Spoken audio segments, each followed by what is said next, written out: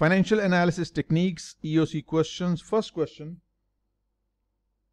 Comparison of companies' financial results to other peer companies for same time period is called what?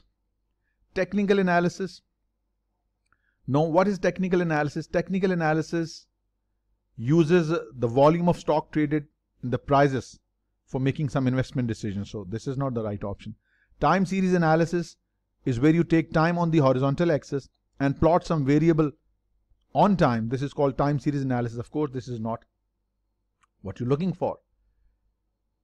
Cross-sectional analysis. Yes.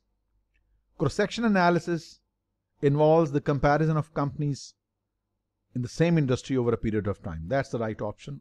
Most of you got it correct. All of you got it correct. Next. In order to assess company's ability to fulfill its long-term, long-term, mind the word, long-term obligations, an analyst would most likely examine what? Activity ratios. They just calculate the usage of assets. We want to see our ability to pay long-term obligations when they fall due. Liquidity ratios, they measure the ability of a business to pay short-term obligations when they become due. We measure solvency or long-term obligacity through solvency ratios. That's why C is the right answer. Next, which ratio would a company most likely use to measure its ability to meet short-term obligation? Absolutely, current ratio. Current ratio is in the category of ratios we call liquidity ratios. Payable turnover, it's an activity ratio. Gross profit margin, it's a profitability ratio. Remember, you should develop this habit of reading all the options and you need to convince yourself why a wrong answer is wrong and why the correct is correct. This is the key because most of you haven't been through American certifications. We are in this field for the last 20 years, CIA, CMA. So in this kind of examination, you have to be very clear on which option you are selecting. And when you reject an option, you should have a solid reason of rejecting. And if you're selecting some option, you have a good reason for selecting it right? So this is always recommended. Your questions are quite straightforward and short, but if you just open any Gleim software, CM and CIA, you will see a whole scenario and all this is given in theoretical. An option looks so close that most of you will just simply click the wrong option. So I recommend read all options and make sure you are totally okay with the right option and you know for sure why a wrong is wrong. It's quite a straightforward question, but still I would recommend you to, to develop this attitude towards question. Is the right answer. Moving on. Which of the following ratios would most useful in determining company's ability to cover its lease and interest payments? Coverage ratio. Return on assets is a profitability measure. Total assets turnover is an activity measure. Fixed charge coverage, yes. We discussed this a little while ago. Fixed charge coverage. This will determine the company's ability to make payment on lease terms and interest payments. Correct C is the right option. Now, an analyst is interested in assessing both the efficiency and liquidity of Cherions or Spherions PLC. Efficiency and liquidity. The analyst has collected the following data for, for Spherion. Days of inventory on hand, First, we need to keep, we kept inventory sufficient enough to cover 40 days sale, 34, 32. In other words, now our inventory days have fallen. Inventory turnover has increased. Remember, when the inventory days fall, inventory turnover increases. And in both cases, it's good. Now you keep your inventory for shorter period of time, resulting in lower holding cost lower obsolescence, low deterioration, less pilferage, less inventory taxes. Good for the company. So having lower number of days for inventory means your inventory sells more frequently now. It's good. Good for liquidity. Days sales outstanding. First you collected your receivables within 23 days. Now they pay you after 25 days and in financial year 3 they pay you after 28 days it means your receivables now are paying you lesser times in one year. They are delaying the payment. This is not good for liquidity. Third, Number of delays of payable.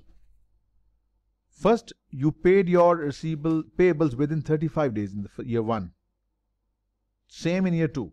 But now you have started delaying without damaging the relationship with your vendor. So when you delay the payments, withholding the payment of your suppliers eventually leaves more cash with you, hence your liquidity problems are resolved. This is how firms manage their cash. Those from accounting department, they would know. Delaying your payables, delaying payment of salaries would result in having cash to meet urgent expenses. So this case, even your suppliers might be angry, but for your business, from liquidity point of view, it's good. Now, what the question is, based on this data, what is the analyst least likely conclusion from this? First, least likely. Inventory management has contributed to improve liquidity. Yes, inventory management has improved liquidity. Now we are frequently selling our goods. Inventory turnover has increased. Or in other words, we hold on to our inventory for lesser days. Good for us. It's a correct one. Management of payable has contributed to improved liquidity. Yes, you're delaying payments to your payables. Now, this has resulted in more liquidity, improved liquidity. Correct. Management of receivables has contributed to improved liquidity. Now, this is not correct. Your receivables are now paying you less frequently. They are delaying the payment. So this payment delay will not help your liquidity. This is wrong. This has not improved my liquidity. In fact, it has deteriorated my liquidity. This is the least accurate. And that's why it's the right answer. Next. An analyst is evaluating the solvency and liquidity of Apex Manufacturing and has collected the following data in millions of euros. Okay, solvency and liquidity. We have been given total debt and total equity. Which of the following would be analyst most likely conclusion? Just debt and equity. What is the first conclusion? The company is becoming increasingly less solvent as evidenced by increasing its debt to equity. Let us calculate the debt to equity ratio for all these three years. Debt upon equity, they have been given in the same order. 1750 divided by 5000 gives you 0.35. What does it mean for every $1 invested by equity holder, the debt is $0.35. Next year, 1900 divided by 4500. If you simplify this, you get 0.4222, indicating for every $1 investment, your debt is now 0.42 dollars. In the last year, straightforward it's 0.5, indicating that your debt as a fraction of equity is increasing. Firm is becoming less solvent. True. The company is becoming increasingly less solvent as evidenced by increase in its debt to equity ratio from 0.35 to 0.50 from the year FY3 to FY5. We need to look no further we cannot calculate liquidity because these are the two measures, debt and equity. Liquidity cannot be calculated. In these B and C are wrong, so A is the right answer. Next, with regard to data in problem 6 previously, what would be the most reasonable explanation of the financial data?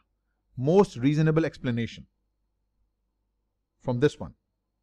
First, the decline in the company's equity results from decline in the market value of this company's common shares. Absolutely wrong. Market value of the share has nothing to do with equity. If equity is falling from 5,000 to 4,500 to 4,000, either there are losses or company might have purchased its own stock from the market, treasury stock, or company might have paid more dividends than the profit earned or it could be a combination thereof. So this is not the right thing. Common shares are not reported at the market price. This is wrong, a totally incorrect option. Equity is reported at book value, not the market value. Wrong. The $250 increase in the company's debt from financial year 3 to 5 indicates that the lenders are viewing the company as increasingly credit worthy. Yes, Debt has increased over the period to by 250, 250 million euros. So does it mean that the uh, fund providers are viewing us favorably? Fund providers provide fund as long as you need it and you are willing to pay the interest and you're capable enough to pay the interest. So we cannot assume that we have been given loan of 250 million dollar so it means that we we are more credit worthy in fact our credit worthiness is in trouble our solvency is falling every year we can't assume that we can't say that this is not a right option Creditworthiness is not determined just by your ability to pay interest only there are many other factors as well last one the decline in the company's equity indicates that the company may have incurred losses losses are debit equity is credit. So when the debit is netted off against credit, your credit falls. Paying dividends greater than the income, you earn $10,000 income, but you paid $15,000 dividend. So this was the addition to the equity. This was deduction. So there is a net decrease in equity. Or you might have repurchased the shares, treasury stock. So these are the valid reason why equity could have fallen. It could be any of these or a combination of these arrangements. C is the right answer. Next, an analyst observes a decrease in company's inventory turnover. Inventory turnover falls. It means it is sold less frequently now. Which of the following would most likely explain this trend? The company installed a new, this is an interesting question, gentlemen, I need your attention. The company installed a new inventory management system, allowing more efficient inventory management. We know inventory turnover is equal to cost of goods sold upon average inventory. I'm just writing inventory. This efficient inventory management system will result in lower inventory. So the inventory falls, a denominator falls, your inventory turnover should increase. But here we see there is a decrease in inventory turnover. So this is not the reason. This would result in increase in inventory turnover. But the question requires that there has been a decrease in inventory turnover. Wrong. Remember, decrease and most likely reason. Due to problem with obsolete inventory last year, the company wrote off large amount of inventory at the beginning of the period. When the inventory was written off, your average inventory will fall. We know inventory turnover is cost of goods sold upon average inventory. Since the inventory was written off during the period, your average inventory balance fell. When the average inventory balance will go down, the denominator goes down, the ratio would improve, but we are looking for a decrease in ITU. This is incorrect as well. This is what I mean when I say read each option well and you need to know why a correct is correct, why a wrong is wrong. See, the company installed a new inventory management system, but experienced some operational difficulties, resulting in duplicate orders being placed with suppliers. When the duplicate orders being placed with suppliers, we will have a swelled up inventory. This swelled up inventory would take in more space, will take more carrying cost, obsolescence, etc. So what will happen to inventory turnover? Inventory turnover is CGS upon your average inventory. Since inventory has swelled up because of duplicate orders, the denominator goes up. Increase in denominator will cause the ratio to fall, so ITO will fall. This is a valid, plausible reason why your ITO has fallen. C is the right answer. Next, which of the following would best explain an increase in receivables turnover? We know account receivable turnover is equal to your credit net credit sales or this is what I'm used to saying you don't you don't get credit sales all the time just sales annual sales net sales divided by your average receivables right the company adopted new credit policy last year and began offering credit to customers with weak credit histories. Just like what happened in 2008, subprime mortgage crisis. Search this up in Google and you will know what happened there back then, 2008 subprime mortgage crisis. Those who do not deserve credit, they were given credit. So when you sell to such customers, your customers are unlikely to pay you quickly, resultantly, average receivable balance will swell. When this goes up, your average receivable turnover will fall. What we are looking for?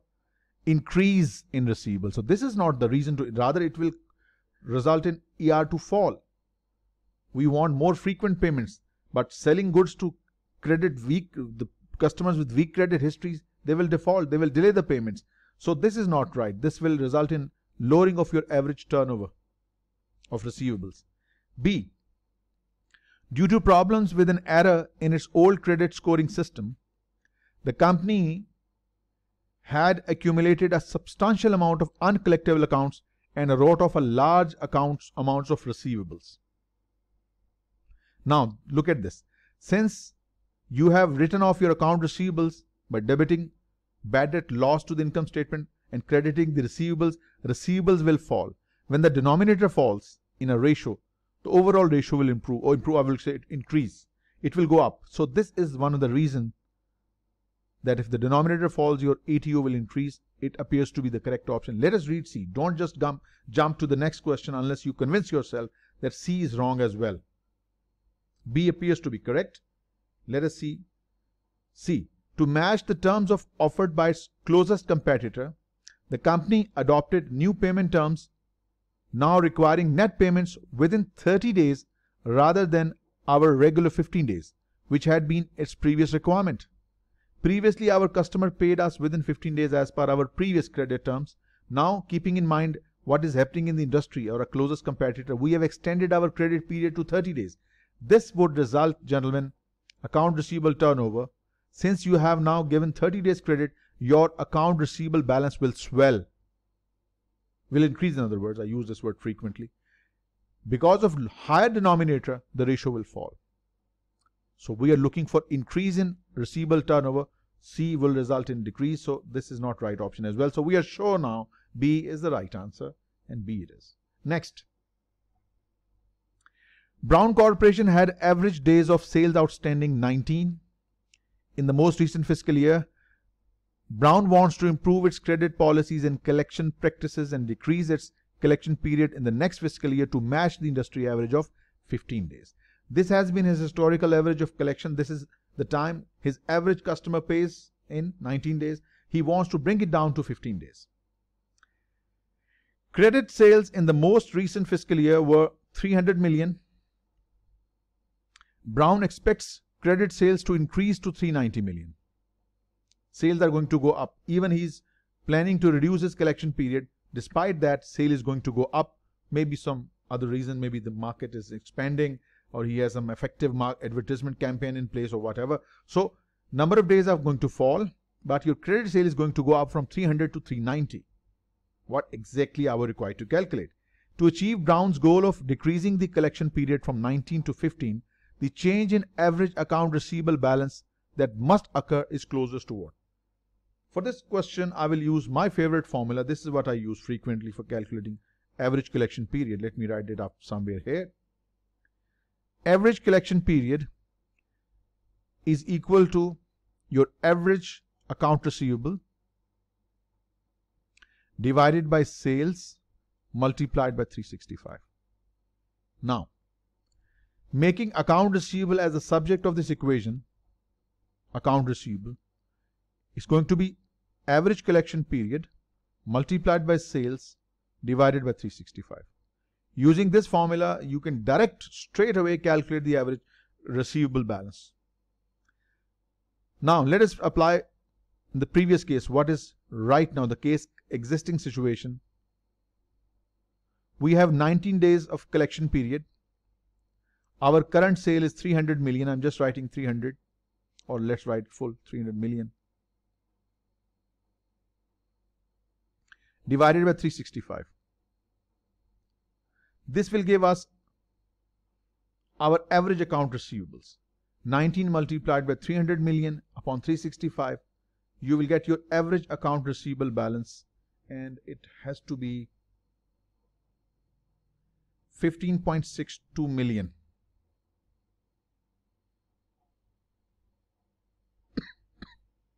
now, under the new revised arrangements, use the same formula what would be the new account receivable balance? If we want to bring our collection period to 15 days our expected credit sales are going to be 390 million divided by 365 if you solve this all you will get 16.03 million. The difference between these two is 0.407 million, which is about 0.41 million and it is increasing. Revision in our credit policy, revision in our credit policy will see increase in account receivables 15.6 to 16.03 the difference is 4.01 that makes a positive difference and it's A. A is your right answer. Next, an analyst observes the following data for two companies, company A and B. We have been given revenue, net sales, current assets, total assets, liabilities, debt, and equity. Right?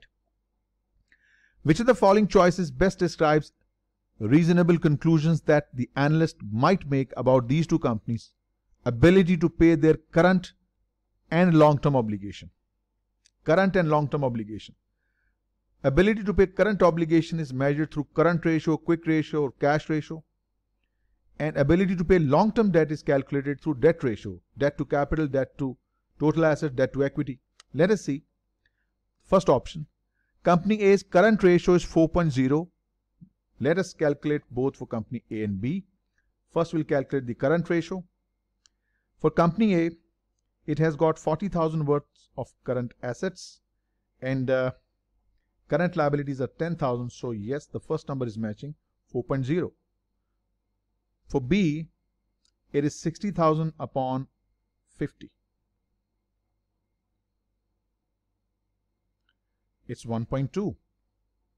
So company A's current ratio 4.0 indicate that it's more liquid than company B, whose current ratio is 1.2. These two numbers match. We just, just don't need to click A unless we are convinced. But company B is more solvent as indicated by low debt to equity ratio. Let us calculate the debt to equity ratio as well. For company A, this is the total debt, 60. What is the equity? 30.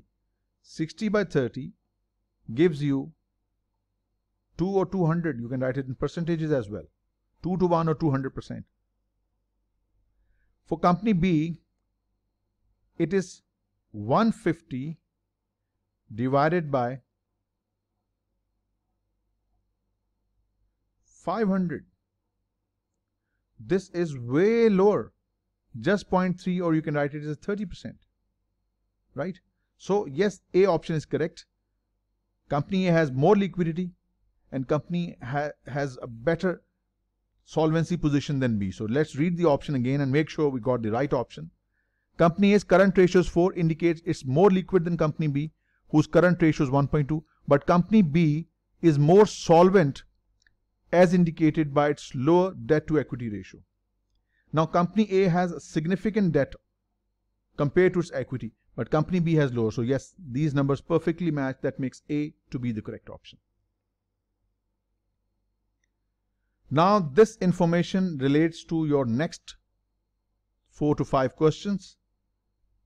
Many aspects of this question will frequently see back and forth. Question number uh, 12 to 16 will be covered based upon this exhibit. Right. The company's total assets, let us first have a look what are we given. We have been given 5 years data. The data in the exhibit 1 appeared in the 5 year summary of a major international company. A business combination with another major manufacturer took place in financial year 3. So what does it mean? Till here you have, this is where the combination took place. And you can see there's a difference here. Revenue was 4.3, 3.6 and then it swelled to 8.1 and 11.36. Likewise, the assets were 3.5, 3.6, 4.7 and after the combination in, in 2013 or FY13, the assets, fixed assets went up to 10 million, 11 million. So this makes sense. The numbers are authentic that there is a business combination 13 onwards. And we have been given the revenue, EBIT, uh, taxation, minority interest is a consolidated business. Profit for the year, we have been given balance sheet, fixed assets, and all the information given. We'll see what exactly do we need. And they've been given also cash flows and working capital movements. All right, what exactly do we need? Let us read the information first. Requirements. The company's total assets at year end FY9 were 3500. FY9, where do we have it? In fact, this is the opening balance of FY10.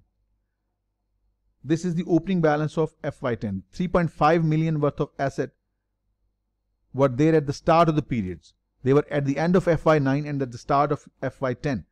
Which of the following choices best describes a reasonable conclusion an analyst might make about the company's efficiencies? First A. Comparing FY14 with FY10. He is comparing these. That is before combination and after combination. Comparison between FY10 and FY14. What exactly he is looking for? Comparing FY14 with FY10, the company's efficiency improved as indicated by the total assets turnover ratio of 0.86 compared to 0.64. We have to calculate the assets turnover, total assets, mind the word, total assets turnover. Let us calculate this right here. We have the numbers given here. Total assets turnover. All right, here we go. 2000 uh, FY10 and FY14. Assets turnover means revenue divided by the average total assets. Mind the word average. Now we have the revenue given here. FY10, the revenue here is 4390. 4390. Average assets. Remember, there was a reason. Now let me show you. Why did he give you the total assets value at the end of FY9, 3.5 million? This was to calculate your average total assets for FY10. So we have the opening assets available 3.5 billion. In fact, this is 3500 million. This is the opening total assets and these are your closing total assets for FY10. Adding these two and dividing by 2 will give you the average assets. I'm going to write them in full. It's going to be 3500 plus 4384 and divided by 2. This will give you the assets turnover for FY10. Its result will be 1.11. All right. What about FY14? For FY14, revenue has gone up to 11.33 11.366 billion or 11366 i'm just going to take this number 11366 this is the revenue now i need the average total assets. Remember, FY14, this is the closing number of assets, total assets. I need to take the average, so I need to take the opening as well. So the opening average total assets means opening and closing divided by 2. So I'm going to write it here. 13799, this is the closing balance of total assets. And 12250 divided by 2. This will give me the average. I told you Whenever an income statement item is linked with the balance sheet, the balance sheet item must be averaged if possible. Since we can calculate, we were given this 3500 million and we have this closing balance, so we should calculate the average because it's the right formula. Income statement item, whenever linked with the balance sheet, balance sheet numbers must be averaged. So once you solve this, you will get 0.87. So you can see previously before merger, for every $1 of asset investment, the business was able to generate a revenue of 1.11. But now, in a larger business, $1 investment in asset has generated $0.87 of sales. Not good, not good, not good. Let's see what the option says. Option says comparing these, it shows efficiency has improved. No, efficiency has not improved. Rather, it has deteriorated. It's a wrong option. Let us see option B. Comparing FY14 with FY10, the company efficiency deteriorated as indicated by current ratio. We don't even need to look at this option. Why? Because efficiency is not determined by current ratio. Current ratio is used for measuring liquidity. Totally incorrect. Then it has to be C then. You can just click C and go on if you are doing the actual exam. But since we have to convince ourselves that we have selected the right option, C says comparing FY14 with FY10, the company's efficiency deteriorated due to asset growth faster than the turnover growth. Since there has been a business combination, subsidiary and a parent, so resulting in more assets now. So assets have grown proportionately higher than the increase in sales. Is it so? Let us convince ourselves with the actual computations from here. All right. Let us first calculate what has been the growth in assets. assets have grown from 4384 average assets in the beginning were 3500 million plus 4384 take this average and once the business were combined the closing average of assets would be 12250 and 13799 take the average of opening assets average of the FY14 and FY13 and you will see that the average for this will come out to be 3942 this is the average at the start before the combination and 12250 and 13799 their average will be 13024.5 yes assets have grown up by what percentage take the difference and divide with the original i'm sure you know how to calculate the change it's 230.4%. Assets have grown by 230.4%. Now, what about the sales revenue? We don't need to take the average for sales revenue. This is your sales 4390 before the merger or acquisition, whatever the arrangement of combination is. 4390 and now it is 11366. Take the difference and divide it with the original 4390, there has been an increase of 158.91%.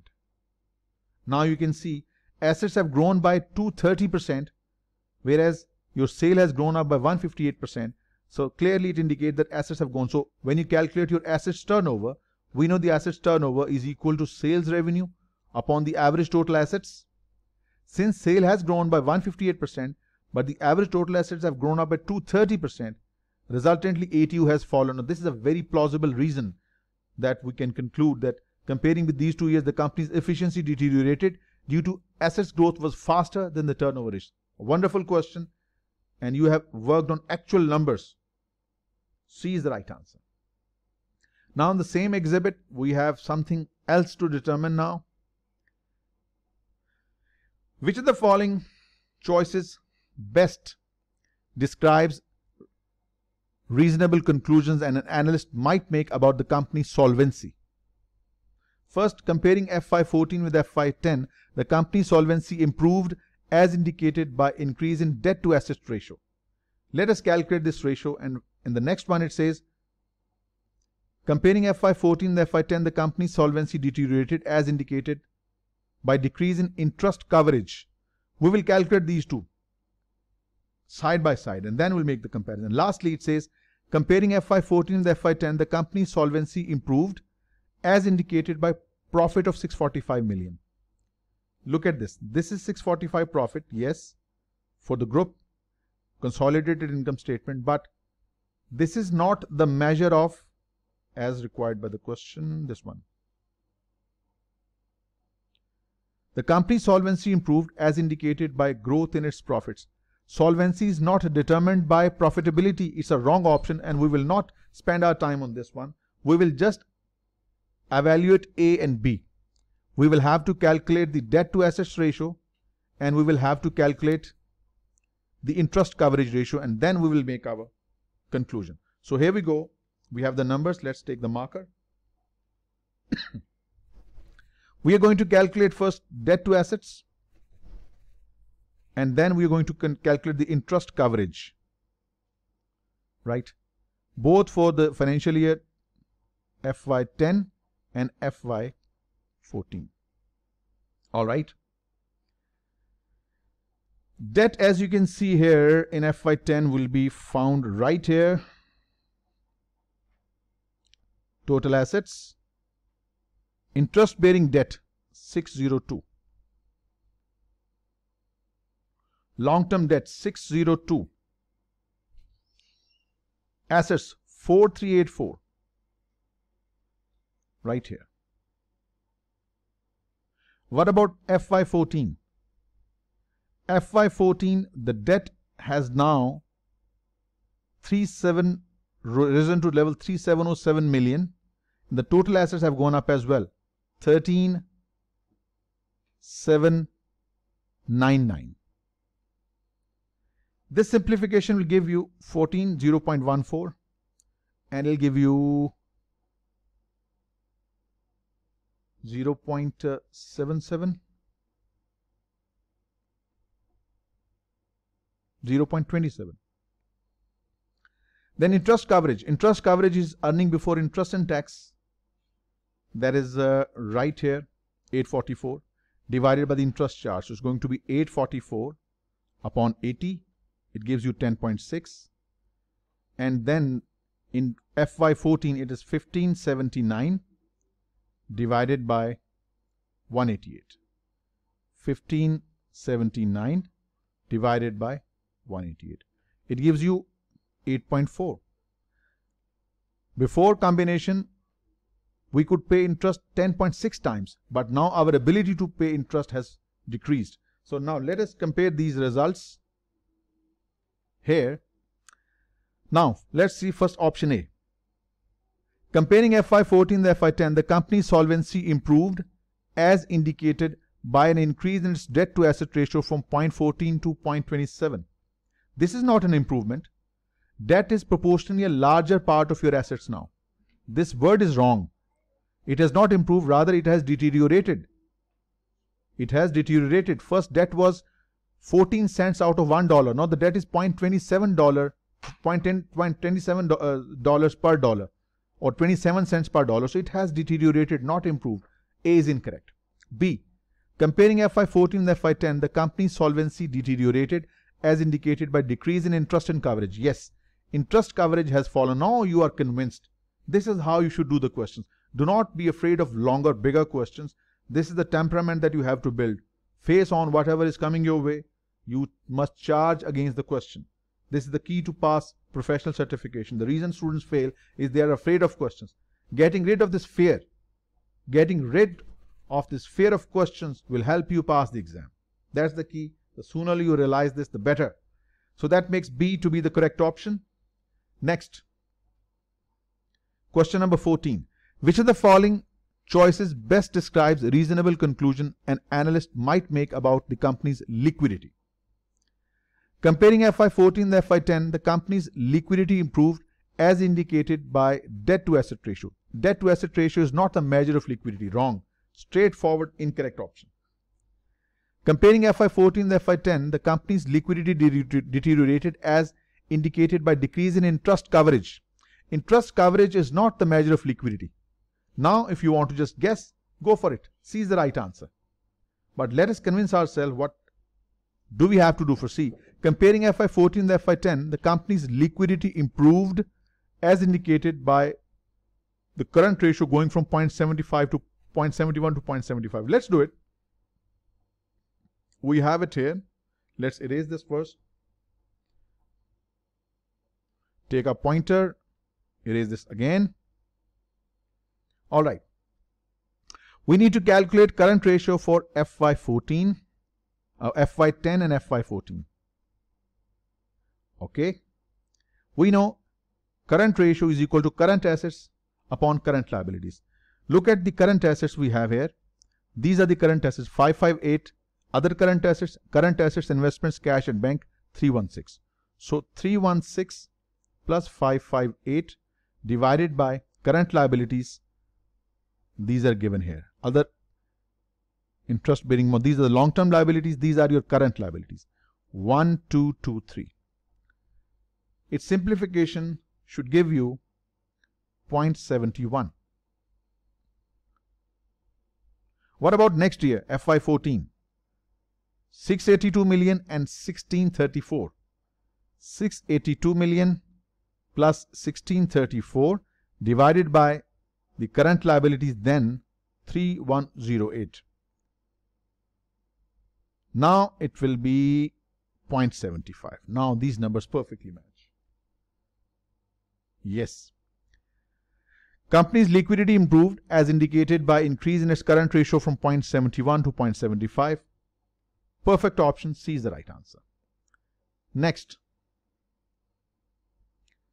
Which of the following choices best describes reasonable conclusion an analyst might make about the company's profitability. Profitability is the objective.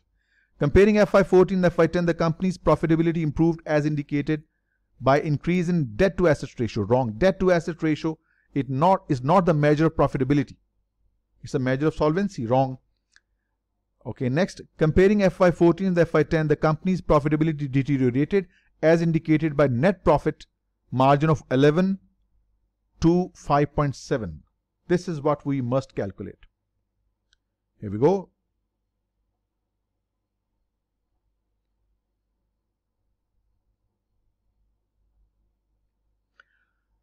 We need to calculate the net profit percentage straightforward 484 upon 439 for FY10 and it's going to be 11%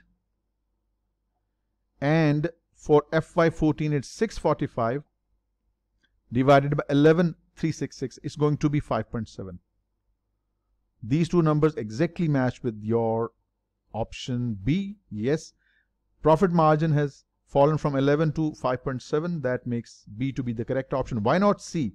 Comparing FY14 the FY10 the company's profitability improved as indicated by growth in its shareholders equity. Shareholder equity is not a measure of profitability. Equity could go up because of share issues. The company issues shares. Issuing share could increase your equity. It doesn't mean it's a profit.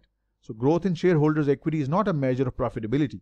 So C was wrong. So it means B is the right answer Last question from this situation, from this exhibit, question number 16. Assuming no changes in other variables, which of the following would decrease return on assets? A decrease in the effective tax rate. When the tax rates fall, net income increases. When net income increases, it should result in higher return on assets we are looking for decrease mind the word. Do not forget that you have a good option in your CBT from February. You can highlight the requirement and you will always be mindful of what you're looking for. Decrease ROA so this is increasing. So incorrect option. Decrease in interest expense. When the interest expense falls your net income will go up. When the net income go up goes up your return on assets should go up we are looking for a decrease in ROA, so this is wrong as well. Increase in average assets. Now look at for return on assets is equal to net income upon average total assets. Increase in average total asset is a denominator. When the denominator uh, becomes larger, it will cause the whole ratio to fall. Now we are absolutely convinced that C is the right answer and C it is. An analyst compiles the following data for a company. We have been given ROE and it is increasing over the period. Return on total assets, it's falling and the total assets turnover stays somewhat the same. Now what are we required to do? Based only on this information above, the most appropriate conclusion that is we can draw over the period from FY13 to FY15 is number one Net profit margin and financial leverage have increased. Net profit margin and financial leverage, profit margin, financial leverage, profit margin, financial leverage. I mean all these options involve the calculation of profit margin and financial leverage. Gentlemen, I'm sure you would have remembered the formula. Return on equity can be written this way. Return on equity is equal to return on assets into financial leverage. Rearranging this formula will give you Financial leverage is equal to return on equity upon return on assets. Using this formula, we have been given ROE, we have been given ROA, dividing these two, dividing these two will give me financial leverage. For financial leverage for FY13, 19.8 upon 8.1 gives me 2.44. Financial leverage for FY14, 20 divided by 8 that is 2.5 for FY15 22 divided by 7.9 it's 2.78 so yes financial leverage is increasing. Convinced. What about net profit now? We have been given return on total assets and return on total assets is equal to net profit margin multiplied by the assets turnover. We have been given the assets turnover. We have been given return on total assets. Rearranging this formula will give you net profit percentage. Net profit percentage is equal to return on assets divided by the assets turnover, ATO. Which means I'm going to divide my return on assets. This number, let's, let's take a different colored pen now. Now it's going to be 8.1 divided by 2 is going to be 4.05%. Net profit is equal to return on assets upon assets turnover 8 upon 2. That will give me 4. And 7.9 upon 2.1, it gives me 3.76%. So over the period, your net profit percentage has fallen. NP has fallen. Now we are convinced. Net profit margin and financial leverage both decreased wrong. Financial leverage has increased. Net profit margin and financial leverage both increased wrong. Net profit margin decreased, correct, but financial leverage increased, correct. C is the correct option. And C has to be the right answer. Next. A decomposition of return on equity if you remember the five-way decomposition, tax burden, interest burden, EBIT, assets turnover, leverage, all are given. A decomposition of ROE for Integra SA is as follows. What do we see? ROE is the same for the both years. Interest burden is the same. EBIT is the same. Leverage is the same. What's the difference? The difference has been the tax burden and the assets turnover. These are the two differences. Now, which of the following best describes reasonable conclusions an analyst might make based on the ROE's decomposition? First, profitability and the liquidity positions both improved. No information has been given for liquidity and profitability is given in the comparative terms, it's the same. EBIT is the same, ROE is the same. So this is not the right option. B. The higher average tax rates in FY12 offset the improvement in profitability leaving ROE unchanged. Tax burden, if you remember, I told you tax burden is equal to 1 minus tax rate tax burden is equal to 1 minus tax rate. If it has been calculated as 0.70, then what would have been tax? 30%. If tax burden has been calculated 0.75, the tax would have been 25%. Yes, tax rate has increased from 25 to 30. The average tax rate has gone up, higher average tax rate. This has offset the improved in profitability, leaving ROE unchanged. Now look at this. Your assets turnover has improved over the period, but there has been no change in profitability. No change in profitability. This is the wrong option. Profitability, EBIT is the same, ROE is the same.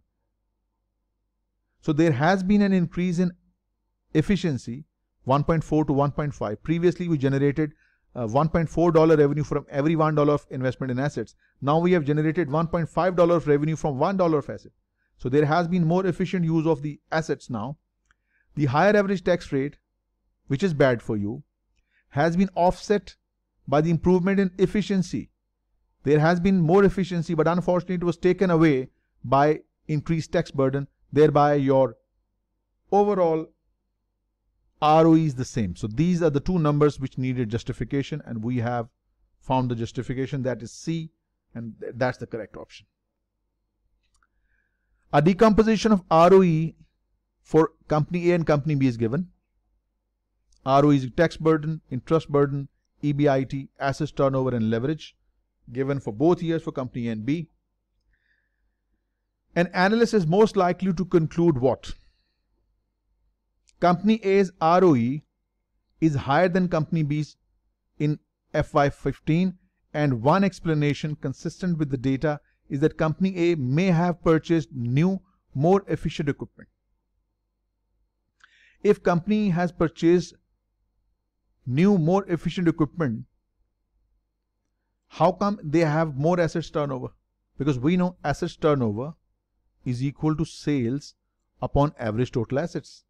So purchasing new assets will increase the denominator and this will cause the average turnover, assets turnover to fall. Rather, we are seeing a higher assets turnover here. This is a wrong option. Assets turnover has increased, whereas if the company has acquired new assets, costly assets, it would fall, it will result in fall in ATO. So this does not justify in the given situation. So A is not the right option. B. Company A's ROE is higher than Company B in FY15 and one explanation consistent with the data is that company A has made a strategic shift to product mix with higher profit margins. It says company A has made a strategic shift to product mix with higher. What is product mix? This is of course the domain of CMAs. Let's say you sell three products. In total sales, 80% represents A, 5% represents B, and 50% represents C. B being the most profitable product company A has switched to a product mix where we sell more B. Now we sell 50% of A and a total 40% of our sales come from B and now C is only 10%. If this has been a strategic shift where you are selling more B which is more profitable, you should have more EBIT, not less. Why did your EBIT fall? Why did why did it fall? It has to be more if it has been a good strategic shift to a higher, more profitable product in your product mix, your EBIT should have increased, but it has fallen. So this is not the right option. See, the difference between the two companies' ROE in FY15 is very small. You can see very small, 0.13 probably. So the differences between two companies ROE in FY15 is very small and company A's ROE remains similar to company B's mainly due to company A's increasing its financial leverage. Everything else is being the same. Why company A has more profitability compared to last year? Because they have increased their leverage. Leverage gives you wings. Leverage gives you the ability to earn more. You will study this in your corporate finance. Leverage empowers you to make more money. Because of this higher leverage, company A has been able to generate more profits. Leverage gives you wings as long as the market is doing well. Leverage can destroy you if there is another COVID. Fixed cost can kill you. Interest can kill you if the market is in downturn. But if the market is growing, you have operating leverage and financial leverage, you'll make tons of money. This is how brokerage houses make millions and millions per week. So this is the reason. Since company A has higher leverage, so they were able to generate more profit and even and the overall differences between their ROE was minimal. So the differences between the two companies' ROE is very small, yes, and company A's ROE remains similar to B, mainly due to companies A increasing its financial leverage from 2 to 4, so they were able to transform this leverage into higher profitability. Is the right option. Next, what does P ratio measures? It's called P multiple. It's the like what it is. Let's say a company that share is trading at dollar $50 per share, its EPS was just $10. So P ratio is market price per share over earning per share. If earning per share is 10, the market price is 50. I, as an investor, I'm willing to pay $5 to just get $1 earning in a particular company. Why I will be willing to pay $5 for a company that earns just $1? Yani in other words, for every $1 earning, I am willing to spend $5. I am willing to spend five times of the earnings for this company. Why? Company is going to do well in the future. So the multiple that the stock market places on the company's EPS. How many times you are willing to pay more than EPS? I'm willing to pay five times of the EPS. This is called PE multiple. A is the right answer. A creditor most likely would consider a decrease, decrease, decrease in which of the following ratios to be a positive news? A decrease in which of these is a positive news? interest coverage decrease. If interest coverage decreases or times interest earned decreases, this is a cause of concern for me as an investor because I might not be able to receive my interest in the future. So decrease in interest coverage is bad for me as an investor. Debt to total assets. Debt is what percentage of total assets? If this ratio falls, it means solvency is improving. This is a good sign for me. This is the good news. Return on assets. is first of all, it's a measure of profitability. So a debt provider or fund provider, bondholder is not let as much concerned with profitability. But still, a decrease in profitability is viewed negatively. So the only good thing for me is the decrease in debt to asset ratio. Decrease in times interest earned and return on asset is bad. B is good. And that's why the good is the right answer. When developing forecasts, this is the domain of CMAs. When developing forecast, analysts should most likely do what? Develop possibilities relying exclusively on the results of financial analysis. Why exclusively on financial analysis? There is so much other information available that we can use to make a better decision. This makes this option correct, incorrect. When developing forecasts, analysts should most likely use results of financial analysis, analysis of the other information, and judgment, not just financial analysis alone. And that makes B to be the most appropriate option. Why not C? Aim to develop extremely precise forecast using results of financial analysis. Forecast, as I said in the scenario analysis, you develop different scenarios, one, two, three. Forecasts are not limited to just a single scenario or single point estimate, but should involve range of possibilities, different scenarios. So this is incorrect as well. So B is the right option. And that ends your EOC 24.